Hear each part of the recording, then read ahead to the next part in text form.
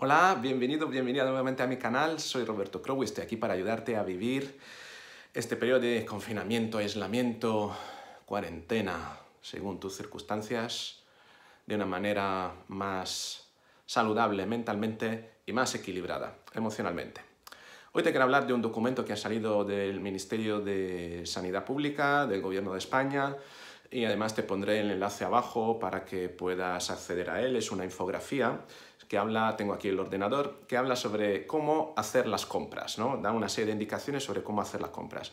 Muy interesante, aunque bueno, yo creo que ya a estas alturas todos estáis, eh, todos estáis más o menos y estamos eh, concienciados, pero también es cierto que este canal llega a Sudamérica, donde las cosas todavía tienen que suceder en muchos países y quiero también eh, adelantaros pequeñas cositas y por supuesto tratar de mirar lo que está haciendo España ahora porque, y sobre todo no cometer los mismos errores ¿eh? y tratar de prevenir mucho antes, no esperar a que las cosas estén en la situación que tenemos nosotros. Se puede prevenir antes y esto puede pasar muy rápido. ¿eh? Bien, el, el documento dice cómo hacer las compras de primera necesidad. Bien, eh, dice, puedes salir de casa para hacer compras de primera necesidad tomando unas sencillas precauciones. Em, primero, mm, pueden ir quienes no presentan síntomas, es decir, si no tienes tos, si no tienes fiebre, si no tienes sensación de falta de aire, eh, siempre que puedas, eh, y los más frágiles deben estar en casa. Solo deben salir una persona. Solo una persona puede hacer la compra, ¿vale? No se puede ir en pareja. Eso es importante. Por lo tanto, salir si no tienes síntomas y segundo, salir solo.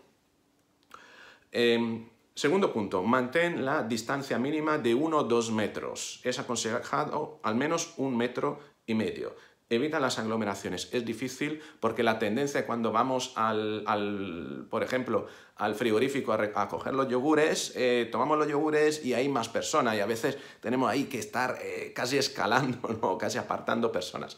Ese hábito que tenemos de hacer la compra rápida y con prisa de todos los días de antes, tenemos que tratar de deshacernos de él y empezar a mantener más las distancias. Y no es fácil, porque la tendencia es hacer la cosa como siempre la hemos hecho. Bien, también es cierto que aquí los mm, supermercados em, están empezando a utilizar un protocolo.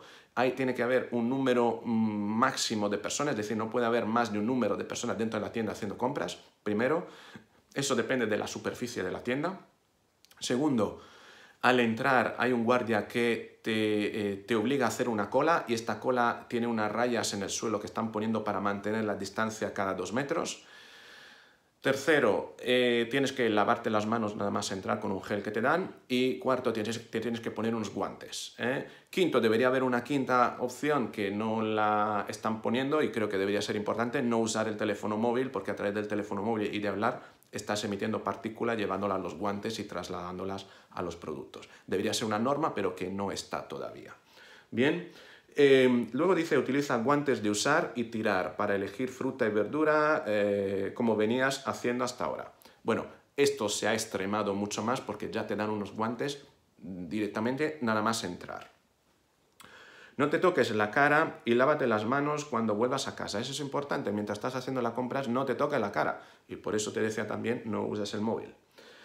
Em, el eh, quinto punto, pregunta a tu vecindario si alguien necesita ayuda para la compra. Puede acercarte a la compra a su puerta. Puedes acercarle la compra a su puerta manteniendo siempre la distancia de unos dos metros. Eso es importante porque a lo mejor en el vecindario tenemos personas mayores, personas vulnerables. Es importante también coordinarse con, las, con los vecinos si se tiene confianza o con la comunidad de vecinos también, con, las con la administración, con el administrador de la comunidad, para organizarse. Cuanta menos gente está haciendo la compra, mejor. ¿eh? Y luego tenemos el último punto que es actúa siempre con empatía y respeto hacia los demás extremar la precaución también es ser mucho más amable. ¿no? Esa manera de estar funcionando, de hacer la compra rápida que antes decía, pues hay que deshacernos de ella y empezar a hacerla de otra, de otra manera. Esto es lo que dice este documento, no dice mucho más. Em, te lo voy a dejar el enlace abajo para que también lo puedas ver. En la página del Ministerio también hay muchísima más información, la verdad que está muy bien, cada vez están colgando más, más cosas. Así que bueno, te invito también a que la visites. Em, y te voy a poner el enlace abajo.